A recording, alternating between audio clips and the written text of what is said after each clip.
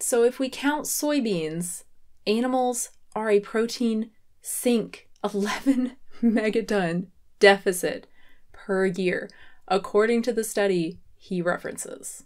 Eating less meat won't save the planet. Here's why. By what I've learned, I've covered what I've learned before. Yes, there are two parts to this because there is a lot to correct, and often correcting false claims takes a lot more time than just making false claims in the first place.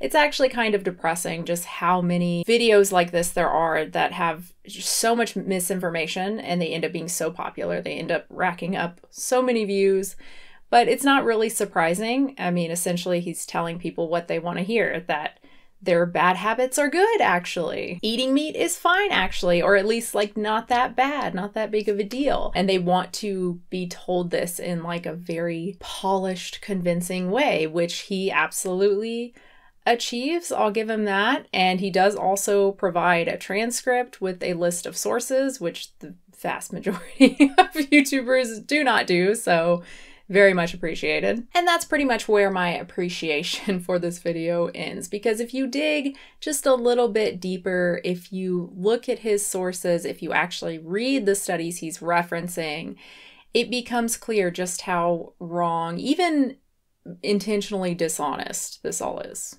What's the environmental impact of not eating meat? Veganism is on the rise, but getting 100% of Americans to go plant based is unrealistic. So let's be optimistic and say we got 10% of the United States to stop eating meat. Nobody is expecting that though. The models that experts are talking about are looking at across the board reductions. They're not focused on a small portion of the population taking on all of the burden. So a small portion of the population going vegan. No, they're looking at everyone reducing. This paper is a good example. Researchers from the University of Michigan projected a 35% reduction in greenhouse gas emissions if Americans reduced animal product consumption by 50%, and then a 51% reduction if they also reduced beef by 90% instead of 50%.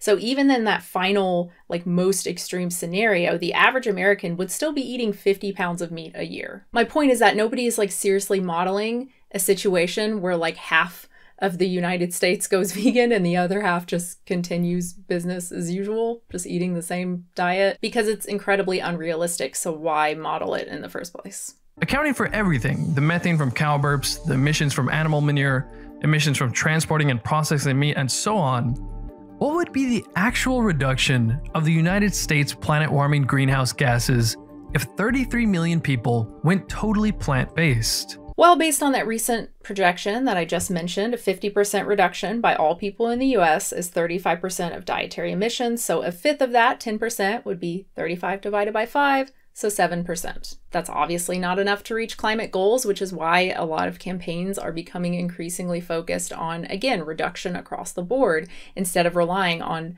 a tiny portion of the population to try and carry all of the burden. To discuss this, I'm joined here with Professor of Animal Science and Air Quality Specialist at UC Davis, Dr. Frank Mitloehner. So instead of relying on published research authored by multiple professionals, Will decides to cherry pick someone involved in the animal agriculture industry whose work um, I'll just let some experts from Johns Hopkins explain. Dr. Mitloehner states that livestock production is responsible for 4.2% of U.S. greenhouse gas emissions.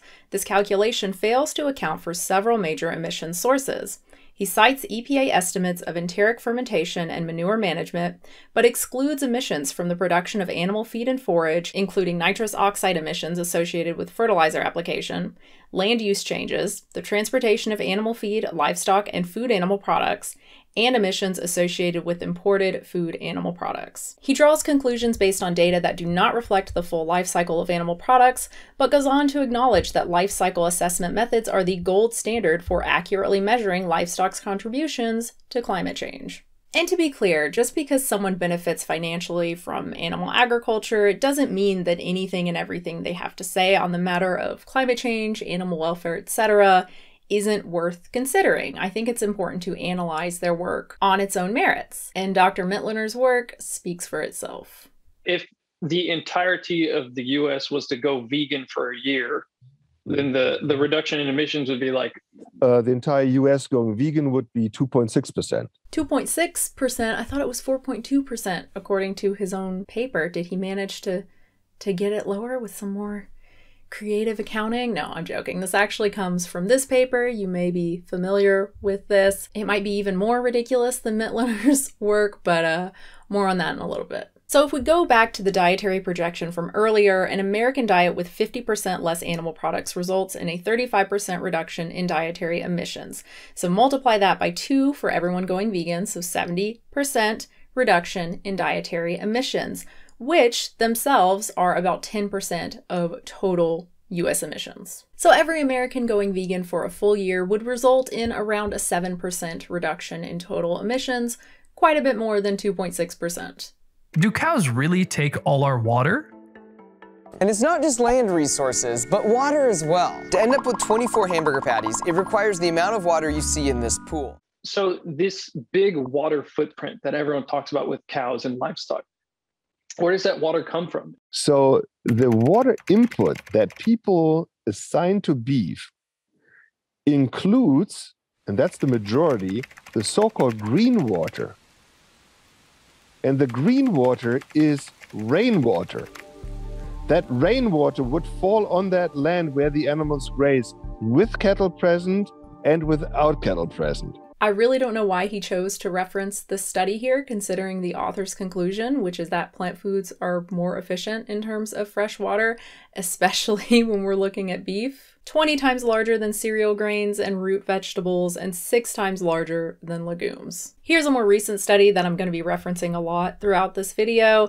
They found beef used 2,034 liters of blue water per kilogram of carcass weight, which is about 2,000 liters per 650 grams of beef so what's actually sold in store retail cuts. So you end up with 3,129 grams of water per gram of beef, almost six times worse than reported in the 2010 study that Will references. Oh, yeah, and I'm calling him Will. I think his name is actually Joseph, going by his email address, but what I learned, Will, I, I thought it was clever at the time. And just in case you're worried that I'm doing my own little bit of cherry picking, you know, with, with the study I chose, that I'm like shilling for Big Vegan or something. I don't know.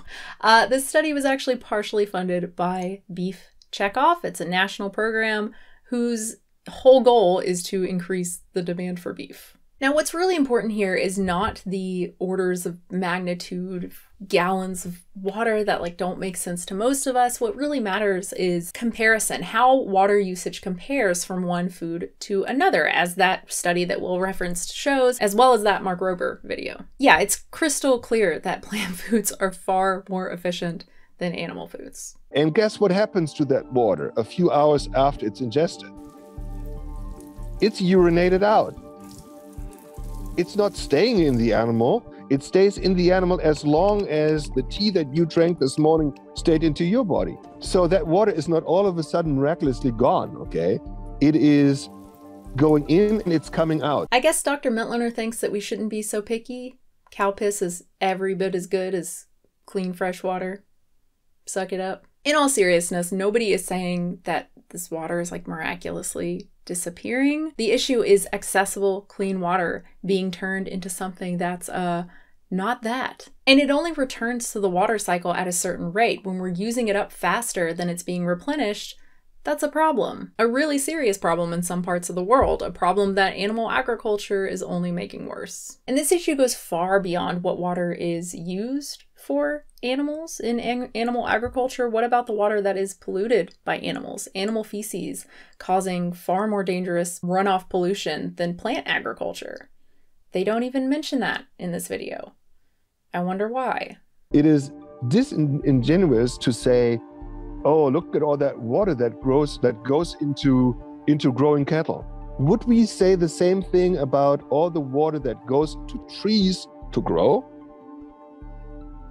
Of course not. Anti vegans do this all the time, complaining about almond milk and avocados as a way to deflect. I'm really surprised Will chose to leave this clip in, considering he himself talks about almonds in this very video. 94.5% of Californian almonds water usage is not green water. That's 1,097 liters per quarter pound, almost 10 times more than beef. Think about that the next time you're ordering an almond milk latte. When you do the math, almond milk still uses less water than dairy milk, which again is the important part, the comparison. How do these products compare to the alternative? Almond milk uses less water than dairy milk. A bean burger uses less water than a beef burger, etc. At 122 liters of non green water per quarter pound, beef does use more than, say, rice, which is 90 liters, or bread, which is 55 liters. According to the 2019 study I referenced, again, funded by the meat industry, it's almost three times that. It's not like that study wasn't already published when he was cherry picking his sources for this video. We need to think about nutritional requirements when we eat. And beef is way more nutrient dense, so yeah, 122 liters used to make a quarter pound of beef is not nothing.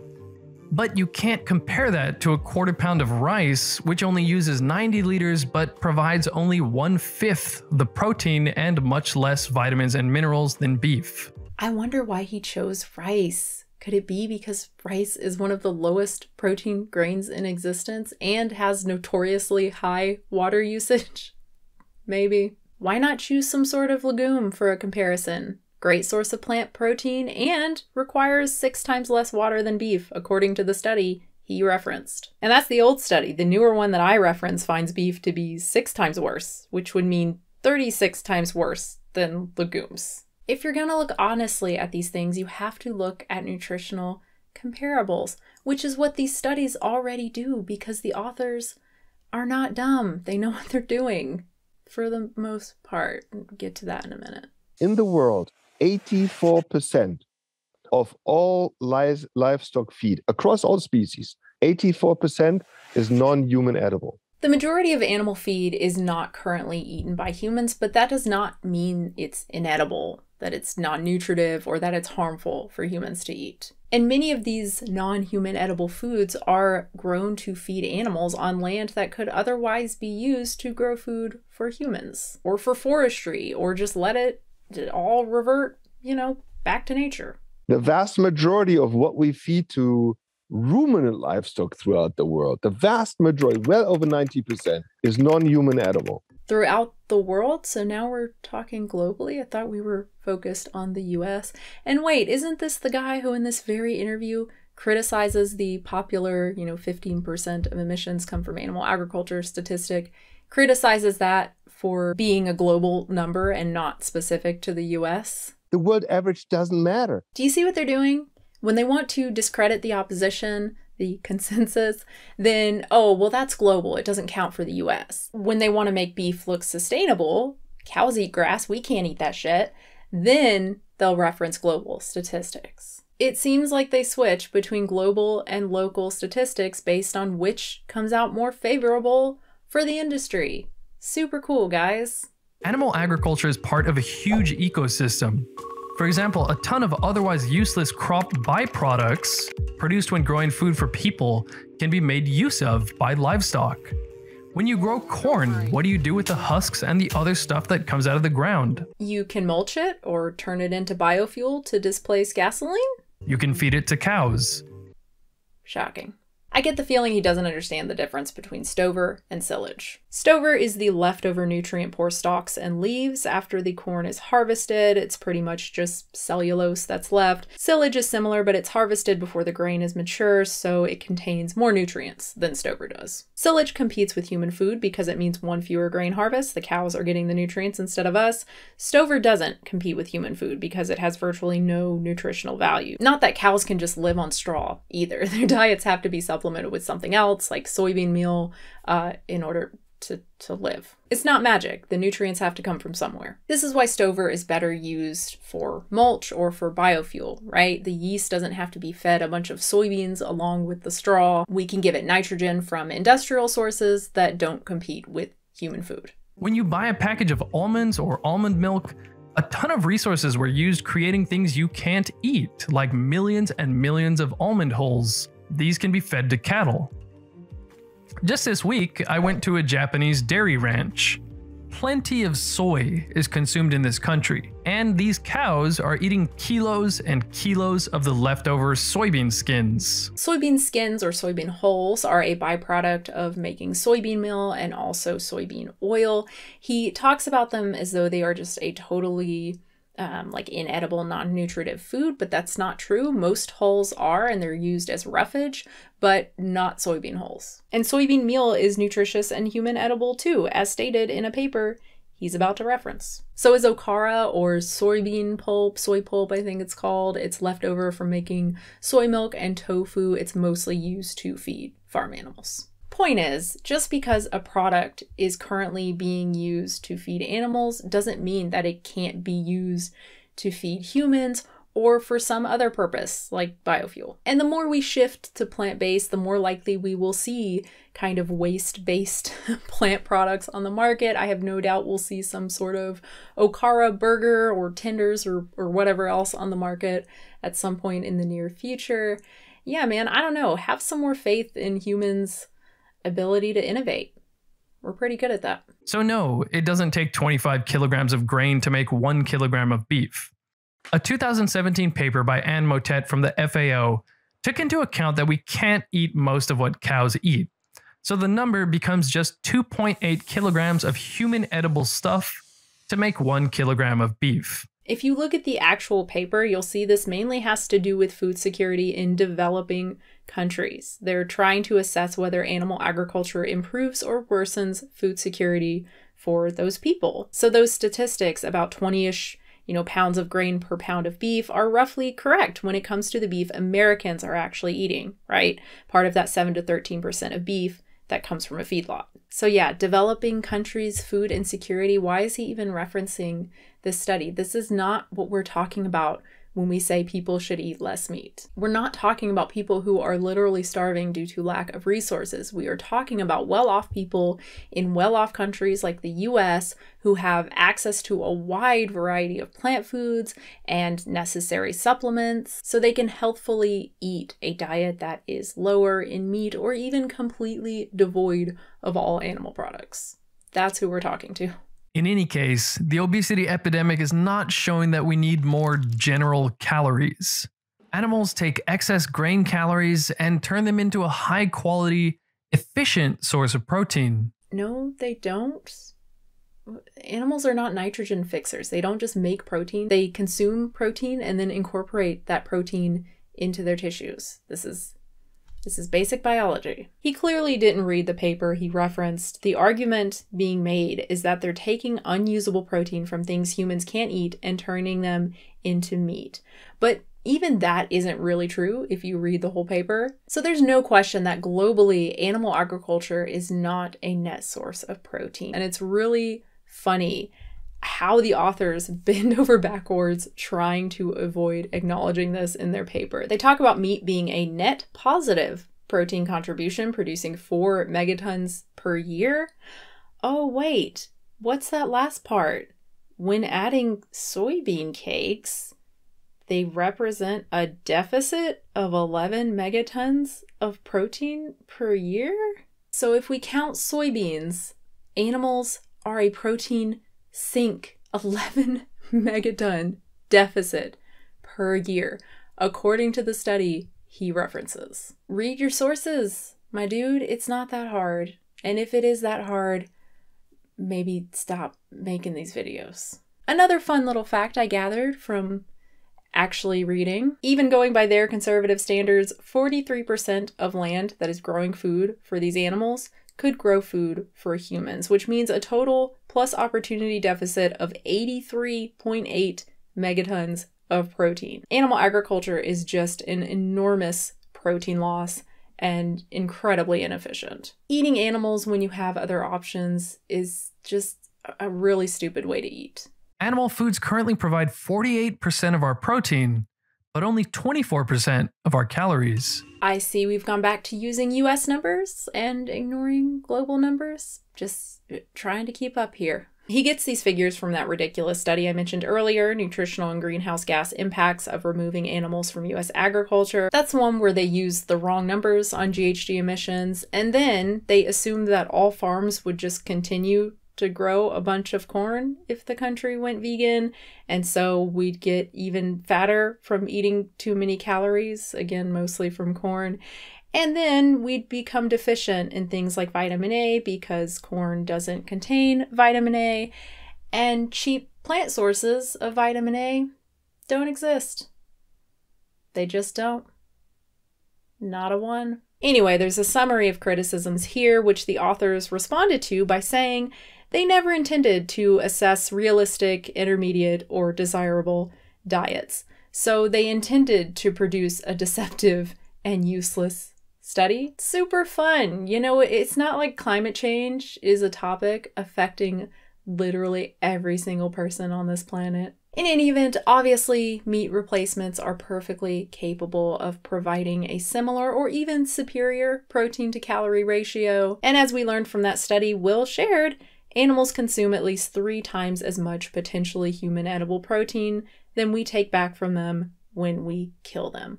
Again, eating animals is just a real dumb way to eat. Real dumb. Of all agricultural land in the world, two thirds of that agricultural land is what we call marginal, meaning you cannot grow crops there.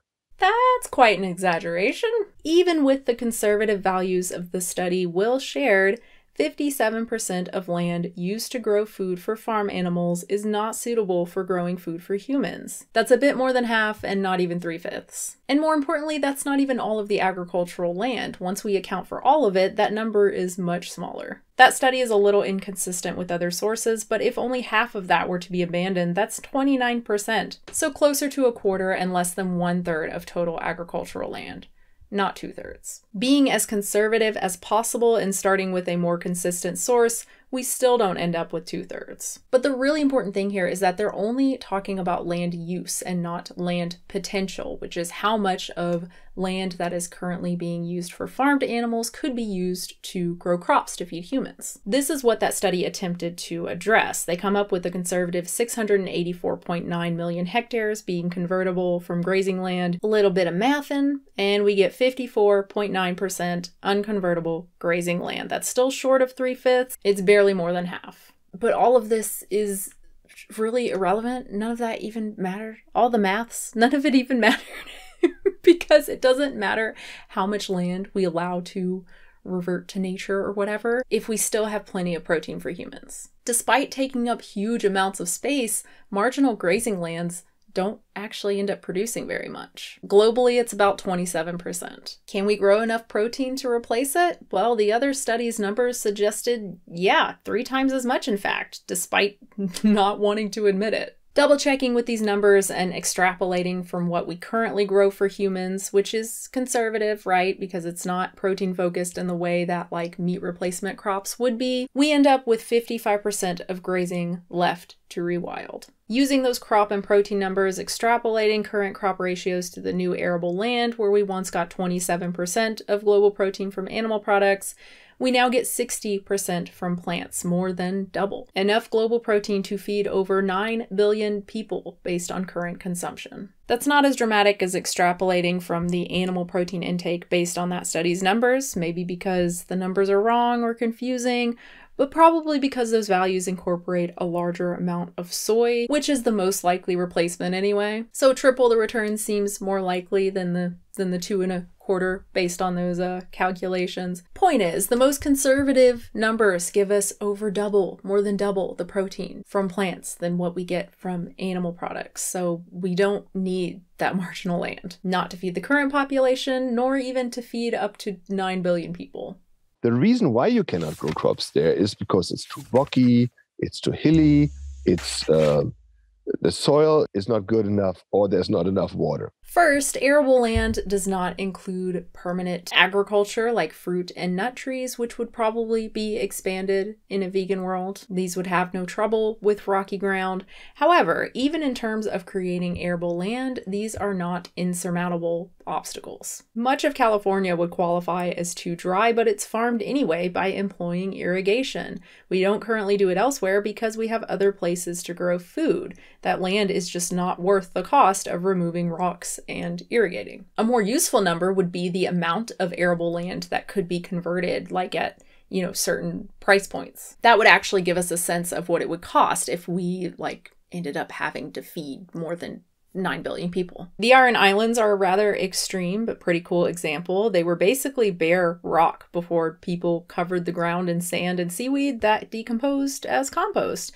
That's what our own garden soil is it's sand and municipal compost. Fruits and vegetables grow just fine in it. Israel is another cool example. They're transforming desert land into viable cropland using some pretty cool irrigation practices. Just in the United States, the soil conditions across regions are quite different. There is a reason California produces a huge amount of food in the United States. Over 90% of all the walnuts, almonds, pistachios, broccoli, strawberries, grapes, kiwis, celery, garlic, artichoke, tomatoes, and other foods all come from California with its warm climate and good soil conditions. Because they irrigate. He just complained about this. He just complained about irrigating almonds earlier in this video. California is not an example of what he's talking about. It's an example of us growing food wherever we want by using irrigation. There are rare exceptions of locations with soil that's too salty or contaminated to grow, but thanks to phosphate rock and nitrogen fertilizer, the principal limitations for growing food are not soil based. They're water, topography, and temperature. Water is a pretty easy fix, topography as well bends to the power of modern machinery. The main issue is temperature. Obviously, we have greenhouses and hothouses, but the climate implications of feeding the population with these practices it's questionable. There are tons of areas in the world where the main thing that easily grows is grass, and other things that ruminants like cows, sheep, and goats can eat. If you don't put ruminants on that land, it will go to waste. Or it will go wild. Sounds a lot better than waste, doesn't it? And I love that grass is the main thing that easily grows, but like, what about the difficulty of managing herds of animals, protecting them from predators? Keeping them out of roads, mitigating environmental pollution and climate change, preventing pandemics. It's a hell of a lot easier to move a few rocks or spread some phosphate than to have to deal with the catastrophic consequences of animal agriculture. Assuming we even needed that land in the first place, which we do not and likely never will. Analyses show population will likely peak at under 10 billion, which we should easily be able to feed. So that was part one. I hope you enjoyed it. Part two will be up hopefully very soon, hopefully tomorrow, and it is um uh more of the same, uh, kind of worse. There's yeah, there's a lot. So stay tuned for that. And if you liked it, like the video, consider subscribing. Of course, that will help you easily find out when part two is up and you can support the channel patreon.com slash unnatural vegan and yeah i'll have a new video soon. Thanks. So what's actually sold in store? Retail cuts right? I hate referring to it just sucks all of this you know it, it's very removed from um from the actual animal the actual being the actual sentient being. So I think even Mitloehner calls them like beef animals. I don't think I've even ever heard that before. It, it's just very, ooh, wow, he's so far removed from them as uh, creatures that experience extreme suffering because of all of this, you know? And um, yeah, just hearing the term retail cuts come out of my mouth is like, yeah, man, long way to go.